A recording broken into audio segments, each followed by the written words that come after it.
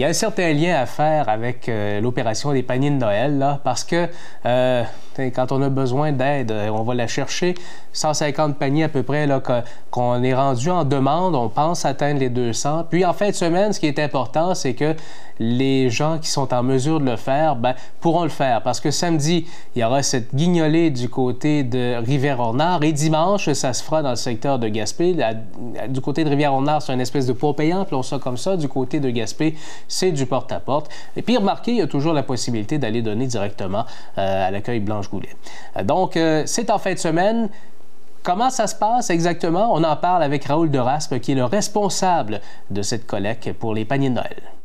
Monsieur Deraspe, bonjour. Bonjour. On s'est déjà rencontrés il y a à peu près trois semaines pour mettre la table au à l'opération des paniers de Noël, mais c'est vraiment en fin de semaine que ça se passe. Là.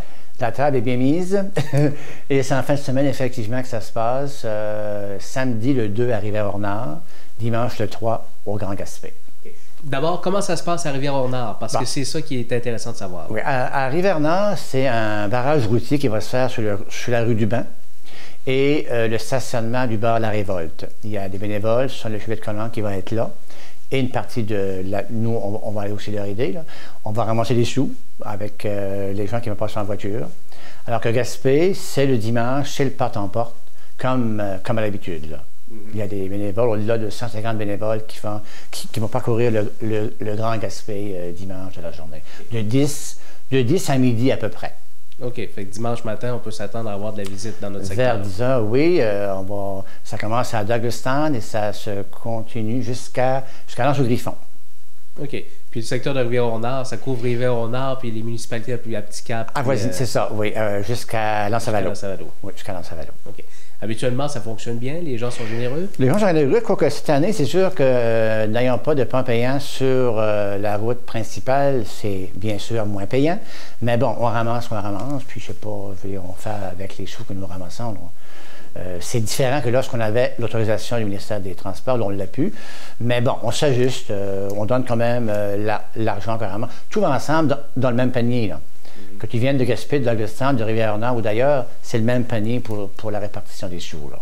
Tout ça ensemble. Justement, au niveau des paniers, les demandes entrent? Nous sommes rendus effectivement à 149 demandes aujourd'hui, à l'heure où on est. Euh, on s'attend à tout près de 200. Parce que c'est quand même demain que la, date limite, mais les derniers jours, euh, on donne de, ça arrive en, masse. Puis c'est dans les moyennes des dernières années à peu près. aussi? Oui, oui, autour de 200, à peu près. Fait que c'est toujours délicat, mais si on voulait répondre à l'ensemble des besoins, on aurait besoin d'amasser combien?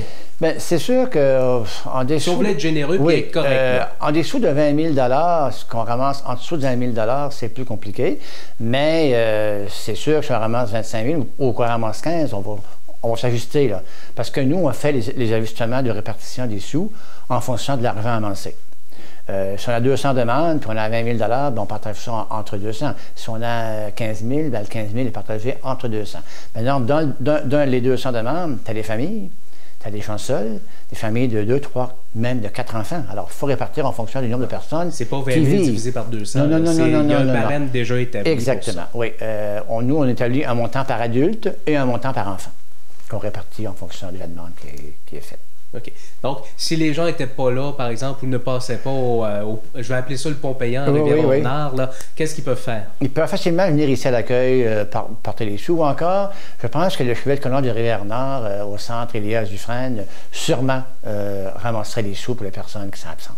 Je suis convaincu de ça. Et nous, ils nous, nous le remettraient par après ici à l'accueil. Ou sinon, si dans un cas de force majeure, les gens peuvent venir directement à l'accueil Blanche-Goulet. Très facilement, oui, très facilement. Il y a une activité spéciale, mais là, je ne suis pas, tout à fait attaché, mais il y a quelque chose qui s'en vient la semaine prochaine aussi. Oui, euh, c'est nouveau, le 7 décembre, la Rignolée des médias. Euh, on va être, euh, il va être sur la rue, la rue, la rue Adams et la rue de la Reine, au coin dans le fond, où, est Tim Horton. Et on va ramasser des sous entre 7h30 et 9h du matin. Avec CHNC et Télégaspé. Avec CHNC et, oui, et Télégaspé, effectivement. Alors, c'est le prochain rendez-vous. Merci beaucoup, M. Deras. Donc, les gens ont jusqu'à vendredi et les paniers de Noël vont être donnés quelques jours avant Noël. Les paniers sont donnés le, 17, le 19 décembre, pardon. Mais là, on va appeler les gens qui ont fait la demande et on va les informer s'ils sont, acceptés et à quel endroit et comment on fonctionne. on leur dit tout ça. Il y, a, des bénévoles qui appellent les, gens qui ont fait les demandes pour leur donner leur, euh, la façon de procéder pour recueillir la carte cadeau. Merci beaucoup, M. Duras. Bonne collecte. Merci.